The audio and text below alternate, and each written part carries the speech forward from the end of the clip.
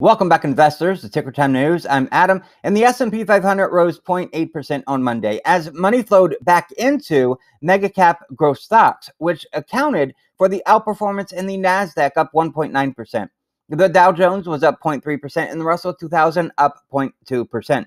Now, growth stocks appear to be drawing some speculative interest from Elon Musk disclosing a, and we'll get to that in just a moment. First, look at the chart for the S&P 500. We are in a bit of an area here, right? We're right up butting against resistance at about 4580 to 4590, that zone in there. We have volume declining. We have RSI declining. And then we have money flows at an elevated state, just staying flat up there, right? Money flows right now are at a 72.8.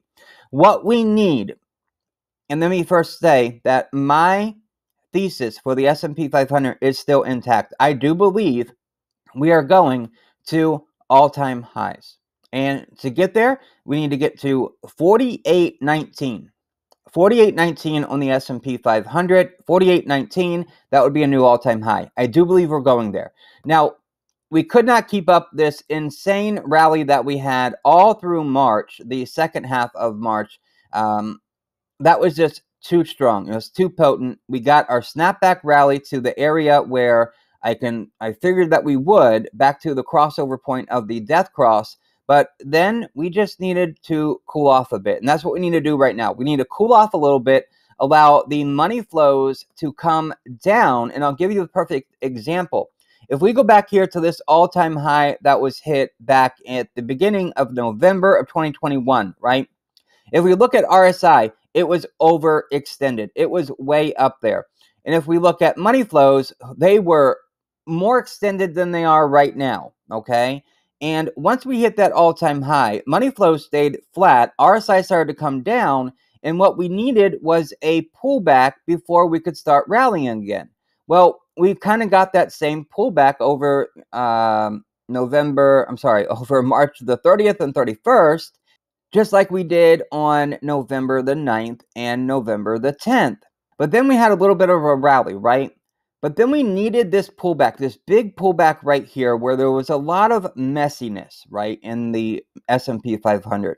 There were big green days, big red days. It was just a mess. And the reason we needed this pullback, this is a healthy pullback even though it was wild, is because we needed the relative strength to come down we needed money flows to come down. So that way, the next time we went for all time highs again, we had enough momentum built up so we could get to these new all time highs right here. So that's what we need to happen right now. Now, that can happen in two different ways, right? We can either get above this resistance area here and maybe get somewhere in here, 4,600, 4,700, maybe as high as.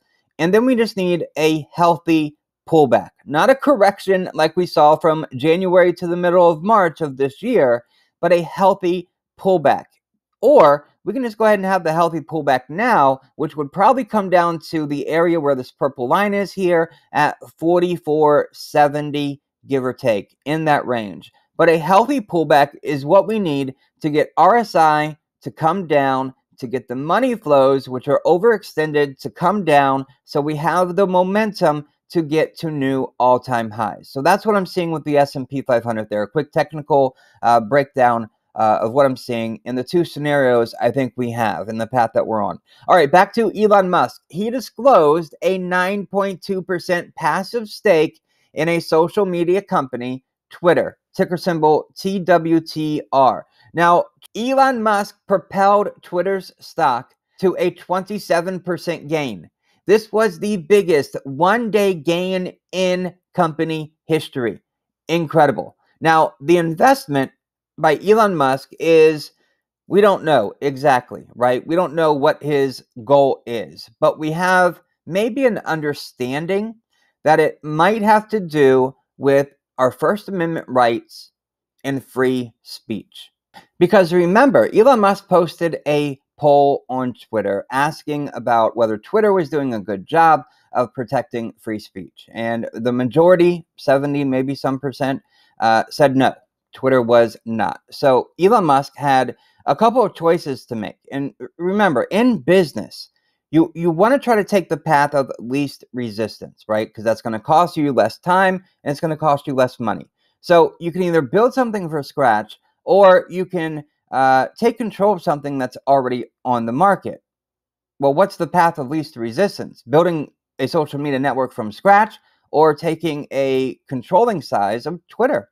Well, taking a controlling size of Twitter. So you can kind of shape it into what you or what your vision is for the company and for free speech. So that's something that Elon Musk is potentially doing there. Now, the investment and the bullish reaction 27% for Twitter, man, it seemed to install confidence in dip buying activity in growth stocks, right? Including mega cap growth. Now, the Vanguard Mega Cap Growth ETF, which ticker symbol is MGK, and again, this is the Vanguard Mega Cap Growth ETF. It advanced 1.9% today, leaving the Invesco S&P 500 equal weight ETF, ticker symbol is RSP, and again, S&P 500 equal weight ETF in the dust with its 0.2% gain. So we definitely see big cap growth was stealing the show today.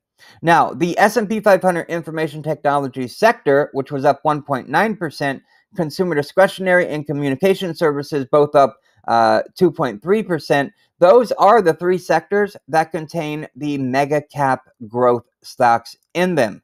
Now, the energy sector. It eked out a tenth of a percent gain, while the other sectors closed lower, with utilities dropping the furthest, meaning the defensive stance was thrown out the window. That narrative was gone. People were jumping on growth, right? Uh, utilities dropped 0.8% and finished in last place out of the 11 S&P 500 sectors. Um, oh, one more note or one more thought here on Elon Musk. We got to talk about Tesla. TSLA is the ticker symbol.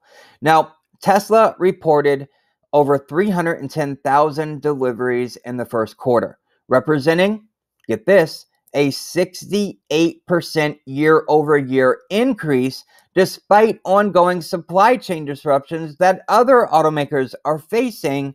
Tesla seems to be doing really well at overcoming those obstacles. Now, Tesla shares, they rose, what was it, 5.6, 5.61% today uh, in a good round of applause for Elon Musk and company at Tesla for a record breaking uh, number of deliveries.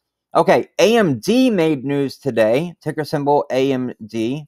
Advanced Micro Devices, they were in the news today because they announced a definitive agreement to acquire Pensando, am I saying that right? For about $1.9 billion as part of AMD's strategy to bolster its data center presence. So, we're working on a video right now to break down this move so you have the latest details about AMD, what they're planning, what they're doing here, and that video will be out later this week. Now, Starbucks was in the news for a split reason today. SBUX is the ticker symbol for Starbucks. Now, Starbucks fell 3.72% flat flatten after hours. Why?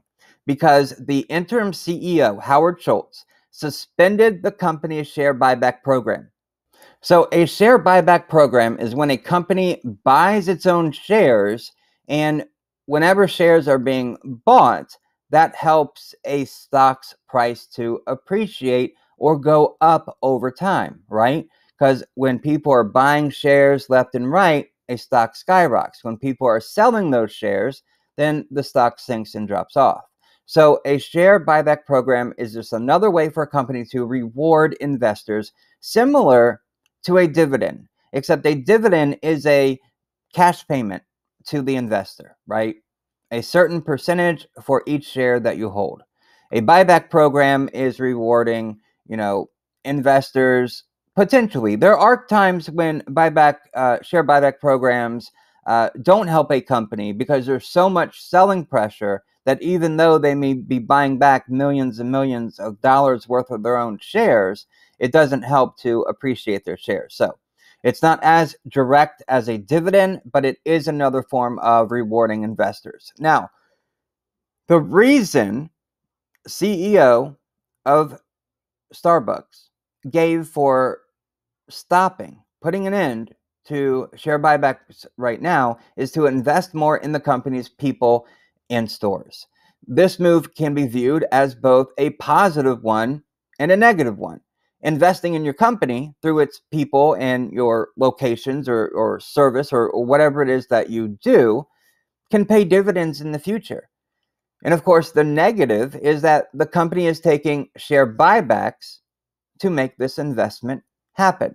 So, some shareholders selling obviously Starbucks today viewed this as a negative one. Others thought it was a positive. Good for you, Starbucks, for investing in your company and your people because that's what makes you profitable to begin with, right? Having good people, having a good company. Now, elsewhere in the market, oil prices climbed back above $100 per barrel, actually $103 a barrel. It was up 3.8%. Uh, and amid no reported progress in peace talks between Russia and Ukraine. Also, coal, coal prices hit a 13 year high, exacerbating the inflation narrative that helped drive selling interest in the longer dated part of the treasury market, which is the 10 year yield. That increased by three basis points to 2.41%, while the two year yield decreased one basis point to 2.42%, narrowing the inversion to one basis point. So, right now, the 10 2 yield is still inverted upside down. We're in the upside down pace. We need to get out of it by one basis point. So, not a whole lot of a spread there, but we're still inverted. What will tomorrow bring? Now, on the economic data front, factory orders for manufactured goods declined a half a percent month over month in February. It followed a relatively strong month of order growth in January and likely reflects some delayed influence of the Omicron variant on business activity, making it too early to say whether this is the start of a weakening trend for factory orders, which I believe, mm, I think we're leaning towards especially over the next several months. Okay, if you could, this would be really helpful. Smash that like button, share this video, and join us in beating the market by clicking the first link in the description. And if it's your first time watching, click subscribe. For Ticker Time News, I'm Adam. Thank you so very much for watching, and I'll see you in the next video.